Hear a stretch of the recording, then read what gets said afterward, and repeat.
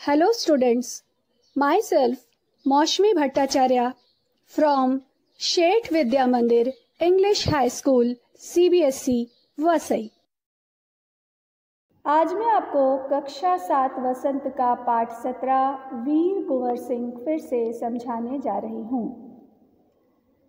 इस पाठ के द्वारा सन अठारह सौ सत्तावन के स्वतंत्रता संग्राम के वीर सेनानी कुंवर सिंह की वीरता और साहस का परिचय दिया गया है। कक्षा छः में हमने झांसी की रानी कविता पढ़ी थी, जिसमें कुंवर सिंह का नाम आया था।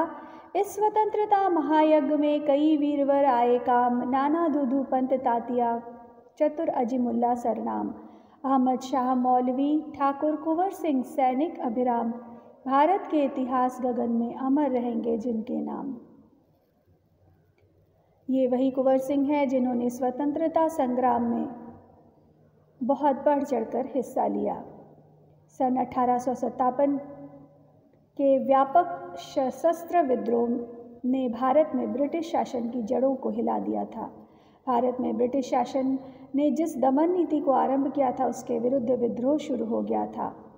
मार्च अठारह सौ सत्तावन में बैरकपुर में अंग्रेज़ों के विरुद्ध बगावत करने पर मंगल पांडे को 8 अप्रैल अठारह सौ सत्तावन को फांसी दे दी गई। 10 मई अठारह सौ सत्तावन को मेरठ में भारतीय सैनिकों ने ब्रिटिश अधिकारियों के विरुद्ध आंदोलन किया और सीधे दिल्ली की ओर कूच कर गए। दिल्ली में तैनात सैनिकों के साथ मिलकर 11 मई को उन्होंने दिल्ली पर कब्जा कर लिया और अंतिम मुगल शासक बहादुर शाह ज़फ़र को भारत का शासक घोषित कर दिया गया। विद्रोह दूर दूर तक जंगल की आग की तरह फैला। दिल्ली के अतिरिक्त यहाँ अत्यधिक भीषण युद्ध हुआ। वे केंद्र थे, कानपुर, लखनऊ, बरेली, बुंदेलखंड और आरा। विद्रोह के मुख्य नेताओं में नाना साहेब, तात्या टोपे, बख्त खान, अजीमुल्ला खान, रानी लक्ष्मीबाई, बेगम हज़रत महल, कुंवर सिंह, मौलवी अहमदुल्ला बहादुर खान और राव तोलाराम थे। अठारह का आंदोलन स्वतंत्रता प्राप्ति की दिशा में एक दृढ़ कदम था। अठारह के आंदोलन में वीर कुंवर सिंह का नाम कई दृष्टियों से उल्लेखनीय है। कुंवर सिंह जैसे वयोवृद्ध व्यक्ति ने ब्रिटिश शासन के खिलाफ बहादुरी के साथ युद्ध किया। वीर कुंवर सिंह के बचपन के बारे में बहुत अधिक जानकारी नहीं मिलती। कहा जाता है कि कुंवर सिंह का जन्म बिहार में शाहबाद ज़िले के जगदीशपुर में सन सत्रह सौ बयासी ईस्वी में हुआ था। उनके पिता का नाम साहबजादा सिंह और माता का नाम पंचरत्न कुंवर था। कुंवर सिंह के पिता वीर होने के साथ साथ स्वाभिमानी एवं उदार स्वभाव के व्यक्ति थे। कुंवर सिंह की शिक्षा दीक्षा की व्यवस्था उनके पिता ने घर पर ही करी थी। सन 1827 में बाबू कुंवर सिंह ने अपने पिता की मृत्यु के बाद अपनी रियासत की ज़िम्मेदारी संभाली। जगदीशपुर के जंगलों में रहने वाले बसुरिया बाबा ने कुंवर सिंह के मन में देशभक्ति और स्वाधीनता की भावना उत्पन्न की। उन्होंने 1845 से 1846 तक गुप्त ढंग से ब्रिटिश हुकूमत के खिलाफ विद्रोह की योजनाएँ बनाई। सोनपुर के मेले को गुप्त बैठकों की योजना के लिए चुना। कुंवर सिंह ने 27 जुलाई अठारह को आरा पर विजय प्राप्त की। 23 अप्रैल अठारह को स्वाधीनता की विजय पताका फहराते हुए जगदीशपुर पहुँच गए। 26 अप्रैल अठारह को यह वीर इस संसार से विदा होकर अपनी अमर कहानी छोड़ गया।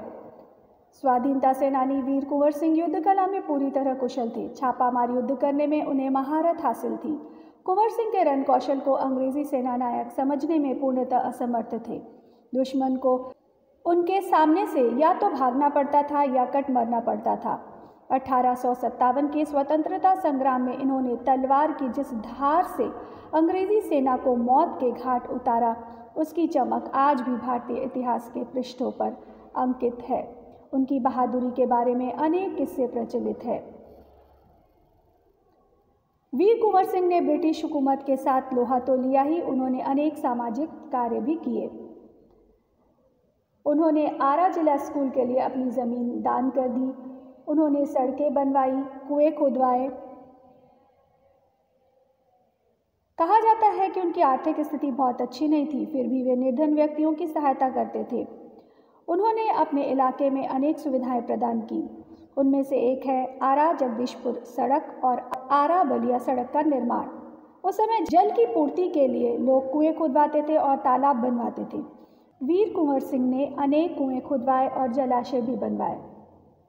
कुंवर सिंह उदार एवं अत्यंत संवेदनशील व्यक्ति थे। इब्राहिम खां और किफ़ायत हुसैन उनकी सेना में उच्च पदों पर आसीन थे। उनके यहाँ हिंदुओं और मुसलमानों के सभी त्यौहार एक साथ मिलकर मनाए जाते थे। उन्होंने पाठशालाएँ और मकतब भी बनवाए।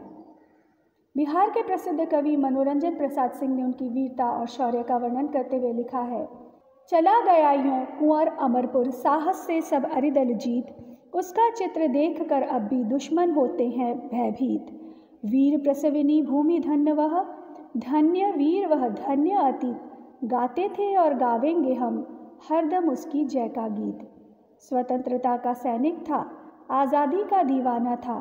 सब कहते हैं कुंवर सिंह भी बड़ा वीर मर्दाना था। पाठ में आए हुए कठिन शब्द इस प्रकार हैं, कूच करना, प्रस्थान करना सशस्त्र विद्रोह, शस्त्र लेकर विद्रोह करना, वयोवृद्ध, बड़ा, बूढ़ा, ज़िम्मेदारी, दायित्व, बागी सैनिक, विद्रोह, बगावत करने वाले सैनिक, ज्वाला, आग, परास्त होना, हारना, प्रस्थान, आगे बढ़ना, अगुवाई, नेतृत्व, मौत के घाट, उतारना, मार डालना अकिंचन बहुत गरीब, दरिद्र। इस प्रकार पाठ से हमें यह सीख मिलती है कि हमें भी अपने देश के लिए कुछ करना चाहिए, एवं अगर ज़रूरत पड़े तो अपने प्राण न्यौछावर करने के लिए भी पीछे नहीं हटना चाहिए। पाठ के अंतर्गत आपको पठित गद्यांश, बहुविकल्पीय प्रश्न, अति लघु उत्तरीय प्रश्न लघु उत्तरीय प्रश्न एवं दीर्घोत्तरीय प्रश्न करवाए गए हैं। सभी प्रश्नोत्तरों को याद करें एवं व्याकरण से संबंधित प्रश्नों को पुनः पुनः दोहराएँ। हमारे पाठ का पुनरअभ्यास यहीं पर समाप्त होता है। धन्यवाद।